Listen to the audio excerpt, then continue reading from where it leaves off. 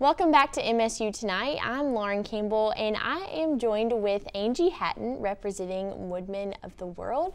Um, and actually this week is um, National Homelessness and Hunger Awareness Month. And so we've got Angie here to talk a little bit about an event coming up. So um, tell us a little bit about this awesome event coming up on Thursday night um, and what it's about. Well, we're doing a hunger and homelessness awareness banquet, and this is a partnership between three agencies the Gentry House, Soup for the Soul, and Needline that serve the needs of the hungry and the homeless in Calloway County. So I don't know if you're familiar with a hunger banquet, but I'd love to tell you a little bit about it. Yeah, I've heard a little bit about it, and mm. it sounds um, super interesting. I know there's three meals. Yes, yes, so. you're clued in. Uh, we have three different meals that are served. And when people come in the doors to the event, they don't know which meal that they're going to get. They draw randomly from a hat, number one, two, or three.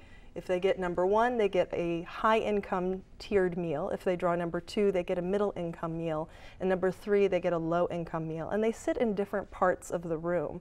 So it's a physical representation of something that we don't always see, depending on which social class that we're in, which friends groups that we're in.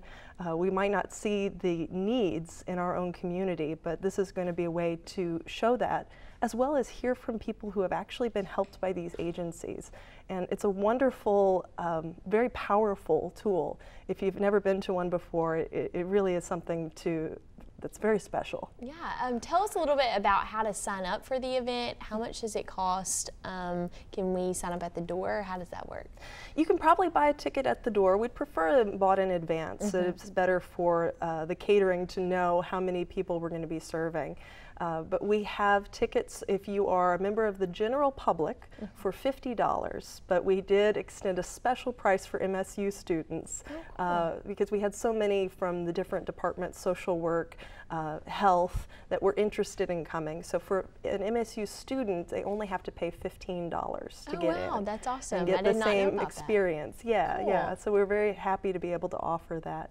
And we do have some um, organizations, the MSU social work program is mm -hmm. setting up an information table beforehand uh, so people can come by and, and, learn a little bit about the program and the work that those students do through internships. Excuse me. Okay, awesome. So where can we get the tickets as students? Are they sold on campus or do we need to they, visit your office? They're being sold in a few different locations. The different uh, board members from our agencies are selling tickets. And you can also, probably the easiest way for a student would be to go to the United Way office. Mm -hmm. uh, all of the partner agencies are under the United Way umbrella. So United Way is helping to sponsor this event. And uh, they can get a ticket there uh, at that office um, Monday through Friday. Um, give them a call, make sure they're there so you can stop by and, and pick them up. Awesome. So, um, how many years has this been going on? Is this a reoccurring event? First year y'all have done it? Well, this particular iteration of the banquet is brand new. Uh, we have had a hunger banquet last year. We had two of them. Mm -hmm. And we decided this year to consolidate into one event because all these agencies work together on a daily basis. They're always in communication with each other, making sure that somebody who's served at Needline maybe gets dinner that night at Soup for the Soul or gets emergency housing assistance from Gentry House. And it made sense to us to make this a joint effort uh, rather than dividing it. And it's also better for people who are wanting to help because they know that every dollar that they are putting toward a ticket is going toward the programming that these agencies are doing because we have sponsors that are covering the cost of the event. So, awesome. Yeah. Um, so you mentioned a little bit about what each organization does. I don't know if you're super familiar, but you, can you tell us a little bit about what the Gentry House does, what Soup for the Soul exactly does, mm -hmm. um, if we're interested in volunteering in that way, if we can't attend the banquet?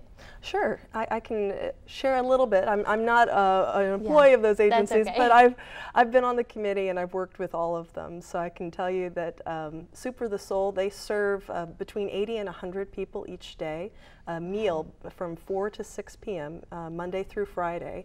And there's no documentation you have to show that you are in need, mm -hmm. But they open it up to everyone. And there's a collection basket if you want to make a donation, you can make a donation when you come in or you can just come and eat. And uh, we wanted it to be an evening meal for Soup for the Soul because they want to make sure they're capturing the, the groups of families as well, right. so when the kids get out of school.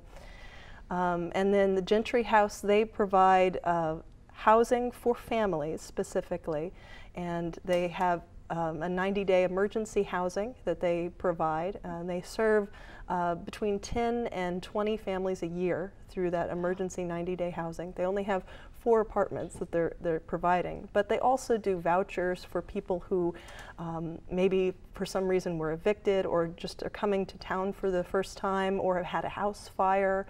So they do provide vouchers for hotel stays as well for those individuals and help get them connected to other services. That's awesome. Mm -hmm. And the Needline uh, serves a variety of things. They're our main food pantry in Calloway County, and they serve, uh, I think it's over 700 families a month.